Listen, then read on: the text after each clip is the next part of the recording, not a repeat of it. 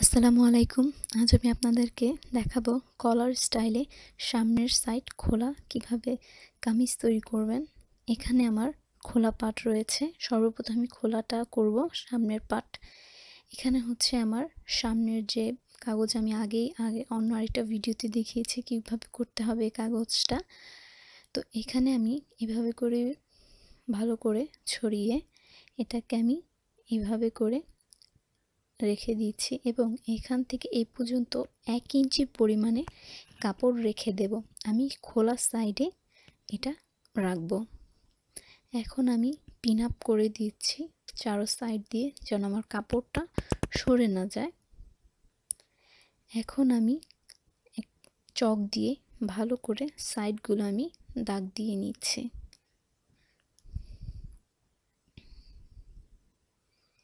এখানে আমার দাগ বোঝা যাচ্ছে না বাট কাটলে আপনারা বুঝতে পারবেন। এখন আমি সর্বপ্রথম আমি যা করব, আমার বডির মাপ নেওয়া হলে লম্বা যে মাপ রয়েছে, এখানে আমি আমার ঘাট থেকে লম্বার মাপ নিচ্ছি এবং তার সাথে এক ইঞ্চি যোগ করছি নিচে উল্টিয়ে বলার জন্য। আমার শিলিতে প্রয়োজন হবে। এবং আমার যে নিচের ঘের আছে নর্মাল সাল, কামিজের ঘের আমি নিচ্ছি। তার থেকে আমি এক ইঞ্চি বাড়িয়ে নেব শিলির জন্য। তো তাকে আমি হাফ করে যা হবে, তা এখানে দিচ্ছি সাড়ে এগারো। এখন আমি আমার এইখান থেকে নিচের অংশ পর্যন্ত আমি লম্বা করে একটা টান দিয়ে নিচ্ছি ডট লাইন দিয়ে। এখন আমি পিন খুলে নিচ্ছি। এখন আমি আমার যে ডট ডট লাইনগুলো আছে, পাশের যে আমার বডির যে মাপ রয়েছে তার থেকে এক ইঞ্চি আমি বাড়িয়ে নিচ্ছি বডির মাপ থেকে।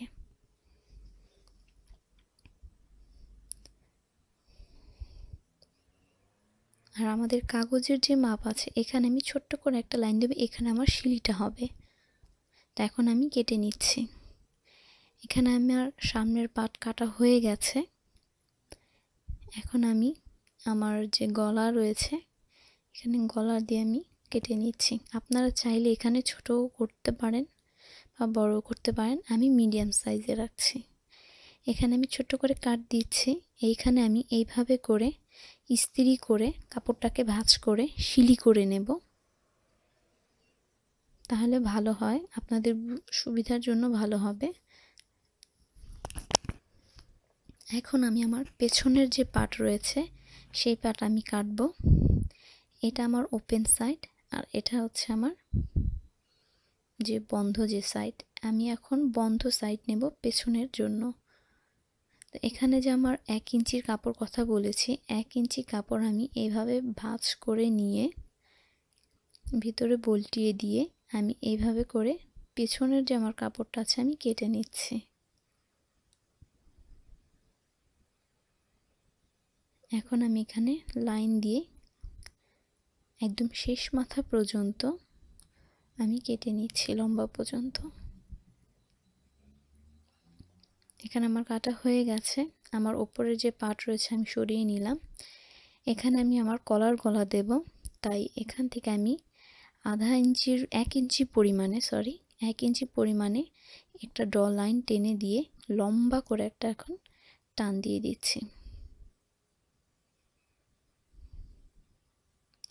এখন আমি একটা গোল রাউন্ডের মতো এটাকে কেটে নিচ্ছি।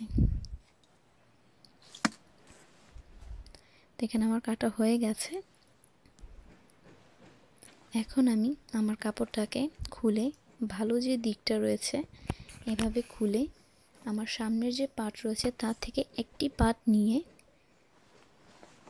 ভালো দিক থেকে মানে এইভাবে করে ভালো দিক ভালো দিক করে মিশিয়ে আমি আমার ঘাড়ের যে অংশ রয়েছে এইখানে আমি শিলিয়ে নিচ্ছি।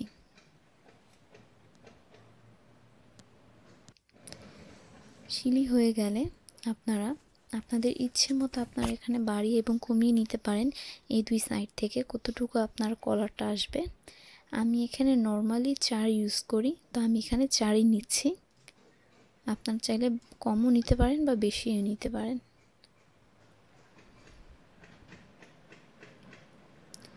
এভাবে নিয়ে এখন আমি আমার হাতের ডান দিক থেকে শুরু করে এভাবে পিচ দিয়ে ঘুরিয়ে এনে হাতের বাম পর্যন্ত এইভাবে আমি আসব এসে। আমার আসে সতেরো। আপনাদের মাপ নিয়ে এখানে আমি নিচ্ছি কলারের জন্য মোটা যে কাপড় পাওয়া যায়, সে কাপড় নিচ্ছি। এখানে আমি সতেরো হাফ যা হয় কাপড়টাকে আমি ভাঁজ করে নিয়েছি। এইভাবে করে আমি টান দিয়ে নিচ্ছি। আমি এখানে এক ইঞ্চি নিচ্ছি চওড়া, আপনারা চাইলে বাইরে নিতে পারেন, কিন্তু এক ইঞ্চি হলে ভালো হয়।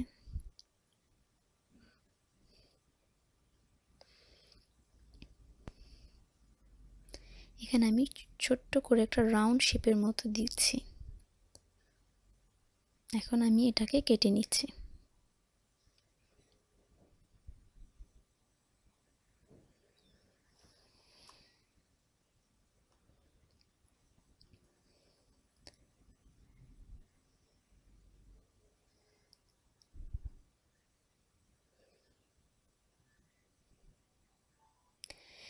এখন আমি যা করব নর্মাল একটা কাপড় নিয়ে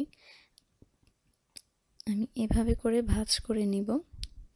এইভাবে করে পিক দিয়ে আটকিয়ে, পিন দিয়ে এভাবে আমি কাপড় কেটে নিচ্ছি। দেখতেই পারছেন? তো এটা আমার কলার হয়ে গেল। এখন আমি কেটে নিচ্ছি আমার হাতা কীভাবে কাটবো। এখানে আমি কাপড়টাকে এভাবে ভাঁজ করে আমার সামনের যে কাপড়ের রয়েছে ফ্রন্ট সাইডে তার অর্ধেক একটা কাপড় নিয়ে আমি এভাবে জাস্ট মাপটা নেওয়ার জন্য এভাবে বসিয়ে দিয়ে মাপ নিলাম। নিয়ে এখন আমি এটাকে শেপ দিচ্ছি।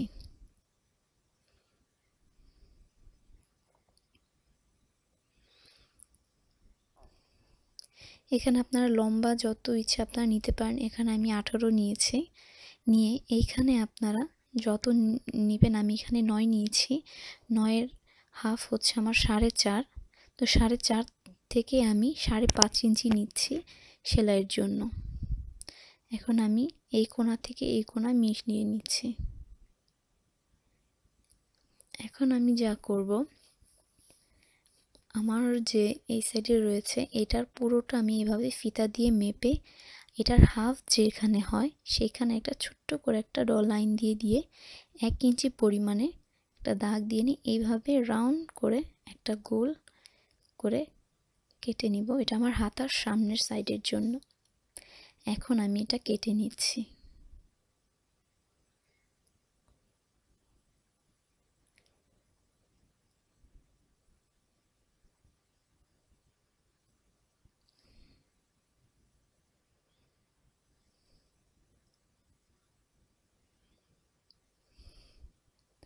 সুতি কাপড় সব সময় ধুয়ে কাটলে ভালো হয়। কারণ অনেক সময় আছে, সুতি কাপড়টা ধোয়ার পরে খেপে যায়।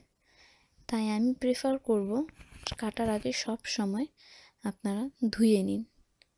তো দেখতে পাচ্ছেন এখানে আমি এভাবে করে কাট দিয়ে নিয়েছি এবং আমার সেন্টার যে পয়েন্ট আছে, এভাবে ছোট্ট করে একটা কাট নিয়ে নিচ্ছি।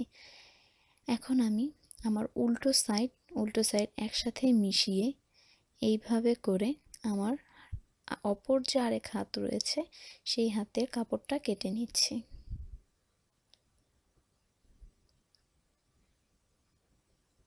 তো এখানে আমার রেডি হয়ে গেল আমার হাতার দুইটা কাপড় একসাথে আমি এখানে দেখাচ্ছি।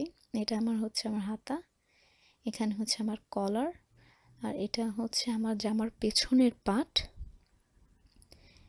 এবং এইটা হচ্ছে আমার সামনের দুই সাইডের সামনের কাপড়।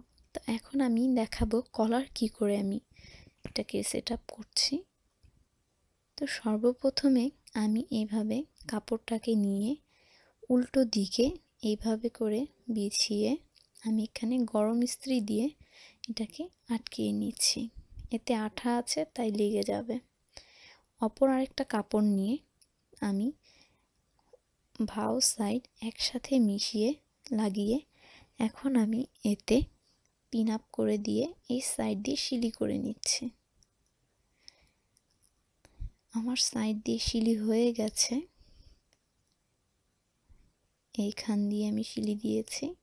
এক্সট্রা যে কাপড় রয়েছে তা আমি কেটে ফেলছি। এখন আমি আমার কলারটাকে উল্টিয়ে নিলাম। উল্টিয়ে নিয়ে এখন আমি আবার ইস্ত্রি করে নেব। তাহলে সিলি করতে আপনাদের সুবিধা হবে।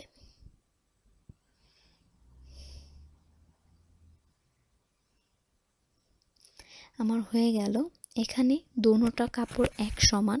আমি যা করব, উপরের যে পাটটা রয়েছে, যেই কাপড়ে আমি আঠা কাপড় লাগাইনি, সেটাতে আমি এইভাবে করে অর্ধেক কেটে নিচ্ছি পরিমাণ মতো। কারণ এটাকে আমার বল্টিয়ে শিলাতে হবে। আমি এইভাবে করে উল্টিয়ে নিচ্ছি। এখন আমি এতে সিঁড়ি করব। এইখানে এই জায়গা দিয়ে এখানে আমার শিলি হয়ে গেছে। এখন আমি দোনোটা মাথাকে এক করে মাঝখান থেকে সেন্টার পয়েন্ট আমি ছোট একটা কাট করে নিচ্ছি এবং এক্সট্রা যে কাপড় রয়েছে আমার, তা আমি কেটে নিচ্ছি। এখানে আমি আধা ইঞ্চিরও খুব কম পরিমাণে কাপড় রাখব, বেশি রাখব না। তো এখন আমি যা করব, এখানে আপনারা চাইলে আপনাদের ইচ্ছে মতো বর্ডারের লাইনও দিতে পারেন, না দিলেও কোনো প্রবলেম নেই, বাট আমি এখানে কোনো লাইন দিচ্ছি না, কারণ আমি এখানে চেন লাগাবো। জিপার লাগাবো, তাই আমি নর্মাল এইভাবে করে কাপড়টাকে আমি ভাঁজ করে বল্টে নিচ্ছি। বল্টে নিয়ে মাথা থেকে শুরু করে একদম শেষ পর্যন্ত শিলি করে নেব।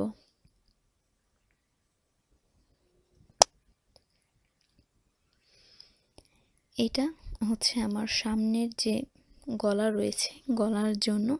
আপনারা চাইলে এটা ইউজ করতে পারেন। না হলে নর্মাল যেভাবে আপনারা গোল গলা বানাই, সেভাবে আপনারা করতে পারেন। বাট আমি এখানে দিচ্ছি, দিলে জিনিসটা একটু ভালো দেখায়। এটা আপনাদের শেষ মাথা পর্যন্ত দিতে হবে, যেই পর্যন্ত আপনাদের কলারের এটা আসবে মানে ফিতাটা আসবে সেই পর্যন্ত। তো এখানে আপনারা দেখতে পাচ্ছেন, আমি শিলি করে নিয়েছি। এখন আমি আমার কলার লাগাবো, আমার ভাও সাইড দিয়ে ভাও সাইড আমি লাগাবো একসাথে, লাগিয়ে এখানে পিন আপ করে নিচ্ছি। এখন আমি এখান দিয়ে পিন আপ করে সঠিক যেন আমার শিলিটা হয় তার জন্য এভাবে আমি পিন আটকিয়ে শিলি করে নেব। এই শিলিটা আপনারা যত পারেন একদম মিশিয়ে শিলিটা দেওয়ার চেষ্টা করবেন যেন আমি পেছনের যে কলারের শিলিটা দিয়েছি সেটা যেন দেখা না যায়। তো এখানে আমার শিলি হয়ে গেছে। এখন আমি এতে চাপ শিলি দেব যেন কলারটা ভালো করে বসে যায়। তো এইভাবে আমি করে আটকে এখান দিয়ে আমি চাপ শিলি দেব। তো এই দেখতে পাচ্ছেন, আমি চাপ শিলি আমার হয়ে গেছে দেওয়া।